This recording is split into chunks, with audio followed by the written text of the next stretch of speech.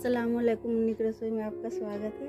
तो आज बनाने जा रहे हैं हम पालक, बथुआ और सोया की साग। तो इसको हम काट लेंगे बारीक बारीक तो हम सारे साग को काट लिया है। अब इसको बनाने चलते हैं।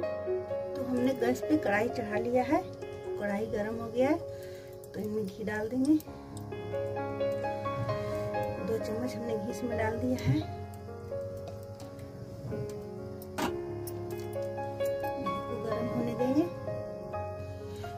गर्म हो गया, इसमें डाल देंगे हींग। एक चम्मच जीरा, लाल मिर्च, और छह सात लहसुन की कलियाँ, बारीक हमने काट लिए तो डाल देंगे। और अदरक बारीक काट लिया, वो डाल देंगे। और हरी मिर्च, चार हरी मिर्च को हमने बारीक काट लिया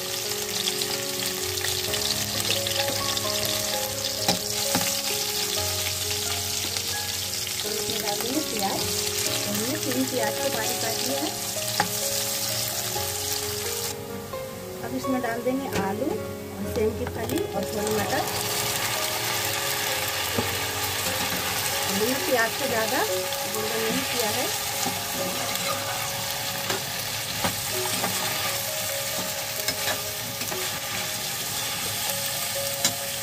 हमने दो टमाटर लिया है, इसे काट लिया है। डाल देंगे।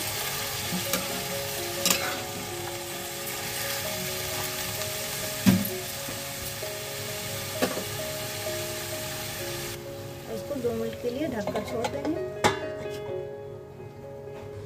तो दो मिनट हो चुका है, इसको हम खोल कर देख लेंगे। तो टमाटर भी सॉफ्ट हो गया है।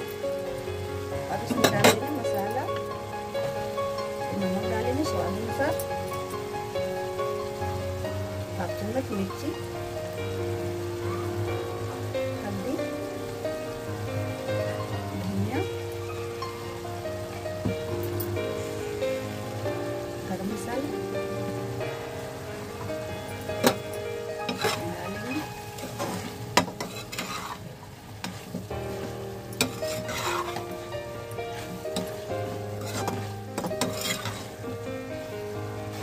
अब इसमें डाल देंगे। साग इन्हें हमने धो लिया है।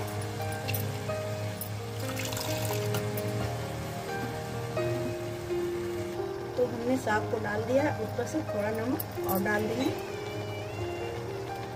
और इसको ढक देंगे क्योंकि अभी बहुत भरा हुआ है कढ़ाई में, तभी चलाने में नहीं बनेगा। तो इसको इस तरीके से ढककर छोड़ देंगे थोड़ी देर के लिए, पाँच मिनट के लिए। तो पाँच मिनट हो चुका है, इसको हम खोल कर देख लेंगे। देखिए बहुत कम हो चुका है। अब इसको हम मिला लेंगे। और हमने पानी भी नहीं डाला है, फिर भी देखिए कितना इसमें पानी आ चुका है।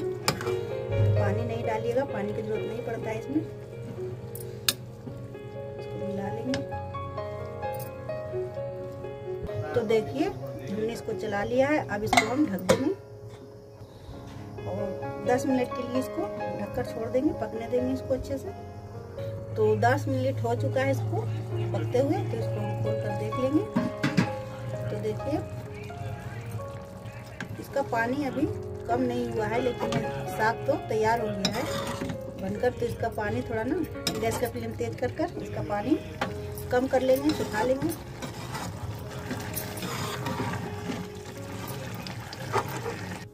तो देखिए, साग बनकर तैयार हो चुका है। ये साग खाने में बहुत ही मज़ेदार लगता है कि हमने सब्ज़ी भी इसमें डाली है। तो आप भी इस तरीके से बनाइएगा और एक बार ट्राई कर कर देखिएगा, बहुत ही मज़ेदार लगेगा खाने में। तो वीडियो अच्छी लगती है तो वीडियो को लाइक करिए और चैनल को सब्सक्राइब करिए तो फिर मिलेंगे इसी तरीके से नए नए वीडियो के साथ। तब तक के लिए अल्लाह हाफिज़।